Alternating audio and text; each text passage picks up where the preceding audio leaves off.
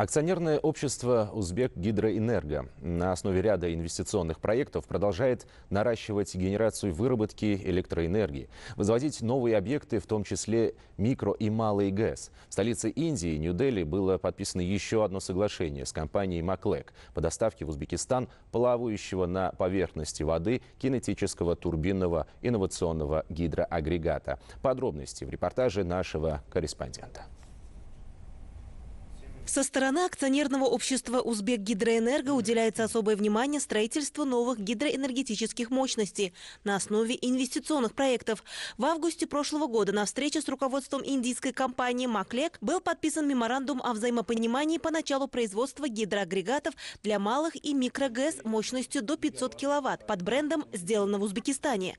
Еще один проект, направленный на дальнейшее укрепление сотрудничества, собрал стороны в столице Индии Нью-Дели. В ходе встречи подписано соглашение о поставке в Узбекистан инновационных гидроагрегатов, преобразующих кинетическую энергию водного потока на поверхности рек, каналов и ручьев в электроэнергию.